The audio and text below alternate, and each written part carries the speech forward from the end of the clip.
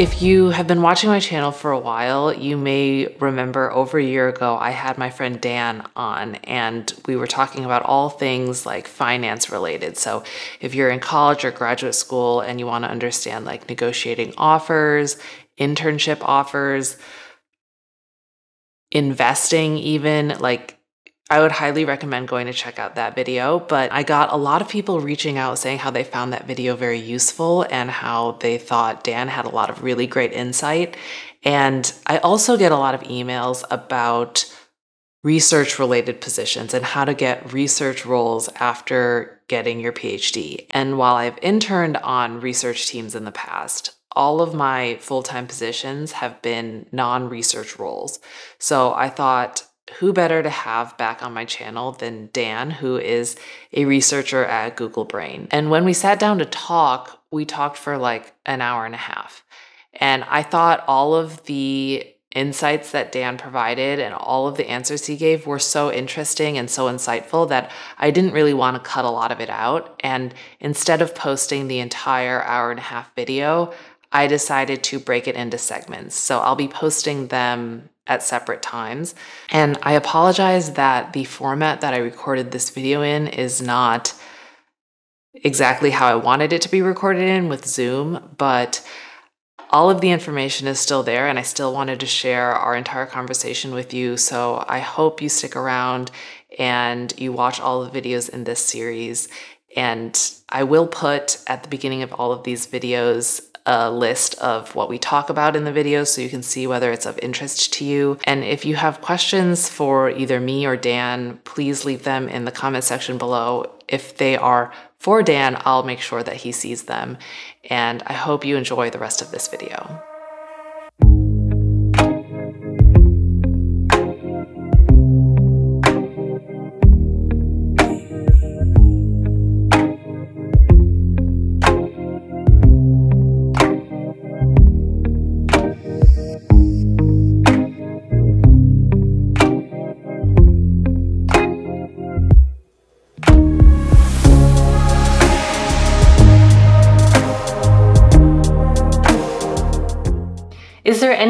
That's like particularly different about interviewing for a research position versus interviewing for non research positions? Because I've been asked to I've been asked to defend papers.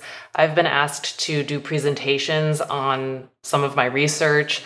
But with Google, it was more of like domain specific interviews. And then once you're past that, you can interview or talk with hiring managers from research divisions as well as non-research divisions. So it's different across the board, but I was wondering in your experience, have you noticed like anything particularly different between research versus non-research interviews?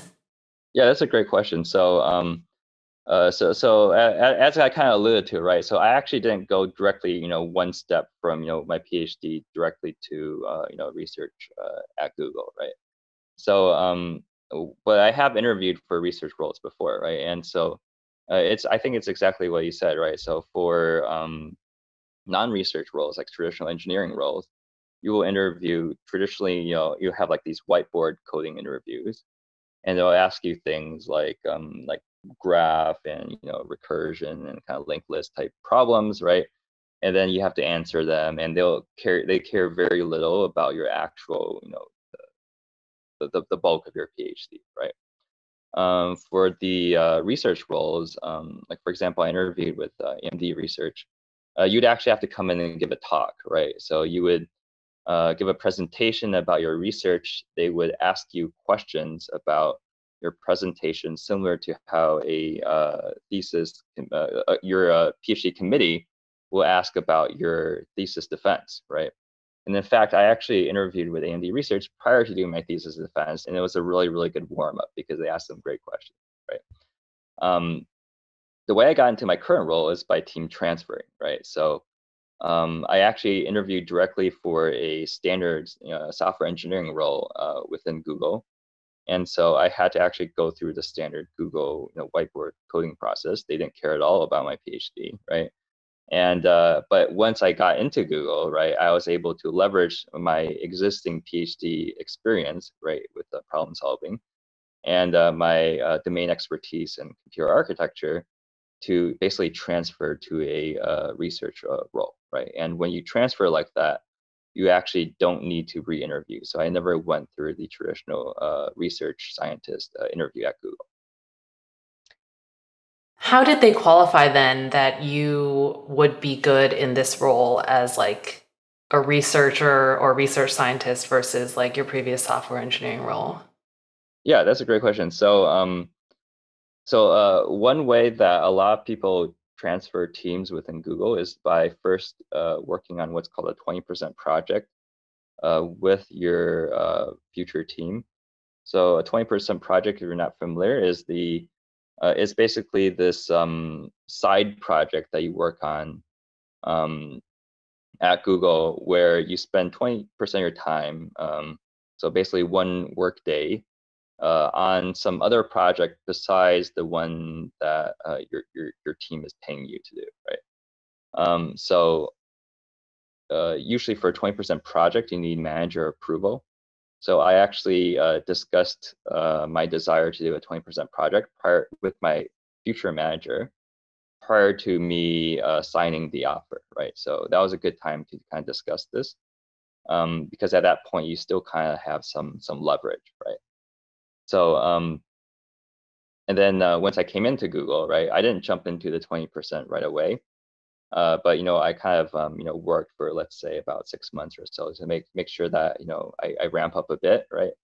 And then you know I look kind of look within Google to see you know which types of teams uh, would be a good fit, right? So um, and then, um, so uh, the team that I ended up, uh, uh, so once, you know, uh, I, I found some teams that were a good fit, right? I reached out to them via email, just cold contact. You know, they uh, responded back to me because 20% people are basically free labor. And so people are generally very interested in hiring 20 percenters. And so, um, and uh, I was able to kind of demonstrate, you know, uh, uh, you know, my my my my uh, let's let's say my research ability, right? Uh, by you know working on some project with them, right? So uh, you can say that it was like another. You can call like a six month interview in some sense? Was there a rec open for a like? Did they want to hire, or did you just email teams regardless of whether there was like a position open on their team? Yeah, so twenty percent is more of like an informal uh, position, right? Like um, people do sometimes put in recs uh, for 20 percenters, but uh, you don't necessarily have to have a rec in order to do that. I think in this specific case, I did not have a rec. I just emailed them, and um,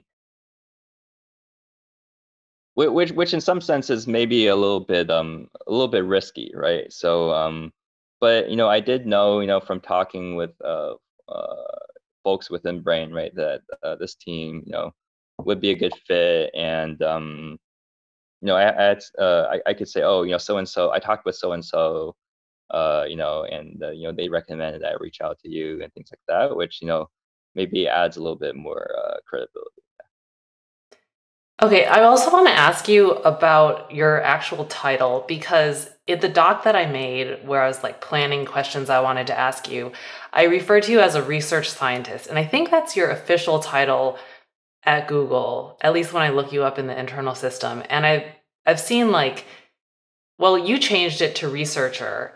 And I've seen different titles at other companies that don't necessarily have research in the name. Like it could be like machine learning engineer or AI engineer, and they do some form of research, but I was wondering what all of the different there probably you probably can't go through all of the different titles, but what are some of the different titles of people who do research in industry and like what uh, like I think your role is purely research, but I think some people do like combination. Can you talk a little bit about like different role titles and what the different levels of research are in industry? Yeah. So I think in general, um, uh, at least at you know, based on my personal experience uh, at Google, I think the title is uh, not the most important uh, aspect that determines whether you're working on research or um, product. Um, I, I, think it depends more on your team and kind of the team uh, culture. There are some Sorry, there are some software engineers at Google who are on research teams, right? And they do do research. Yeah, I would say the software engineers uh, in general should actually outnumber the actual research scientists, right? On even on research teams, because you know these days, um, you know, a lot of these um, for these cutting edge, you know, machine learning training projects, right? It turns out that the software infrastructure is uh, super important. Uh, in order to enable this research, right? And building up this uh, this uh, software infrastructure is really really challenging, right? So you want to actually hire a lot of people for this. Um, so I think um, uh, so so my personal title, just to be uh, completely transparent, is in the system, right? Is actually software engineer, right? Like I said, I was uh, I interviewed for a software engineer role at Google, and so I got here through transferring, right? So I'm actually still a software engineer uh, officially, right? So research. So so basically, at Google at least, there's different ladders for uh, for different uh, titles. So a ladder is basically so, so like a, the like software engineer would be a ladder, for example, and it'll go through uh, let's say from you know L3 you know, software engineer all the way up to uh, you know I, don't know what the top level is, uh, but it, it, it's L10 or you know something like that, right? Um, and there's a separate ladder for research scientists, right? And so research scientists and software engineers are both official ladder, ladder titles. And so that's why I cannot take on the research science, uh, scientist title is because I don't want to trick people into believing, right, that I'm actually a part of the research scientist ladder, right? But within, uh, but internally, Google lets you set your title to wherever you want, right? So you can go in and change your title right now. You can change it to, you know, what, what I did, right? If, if, if, if the, that's something that you want to do, right? And so um, a lot of research roles uh, externally are marketed uh, by recruiters as being R SWEs, right? Research software engineers or research engineers or something like that, right? So these are actually just normal SWEs, right? So with if you get hired to Google uh, as uh, from applying to an R SWE position, you actually just be uh, listed internally as a regular SWE, right? But the reason why they call it an R SWE is because technically you're on a research team, right? So this is something, this is a term that they invented, which is not part of the official uh, ladder system, right?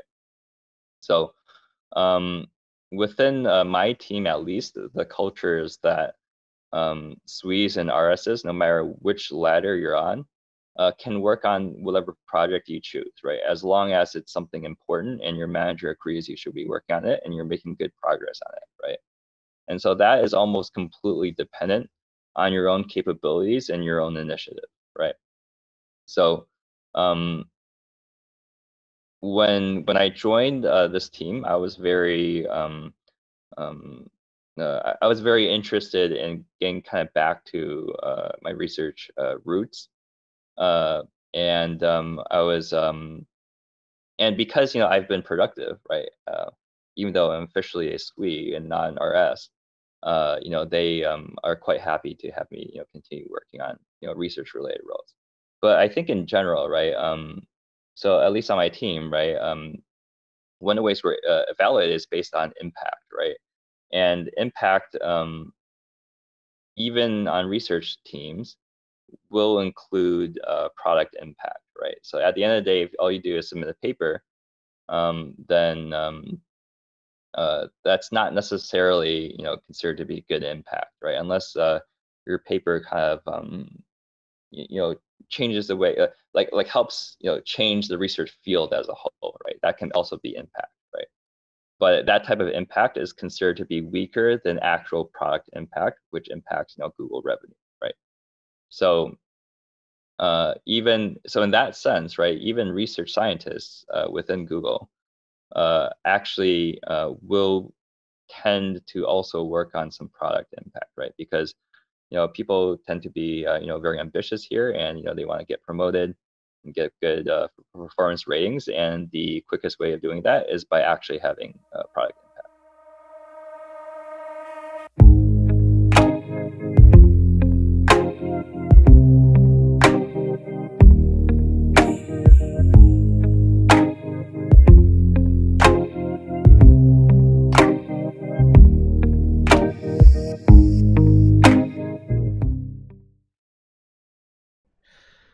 Ah, oh boy.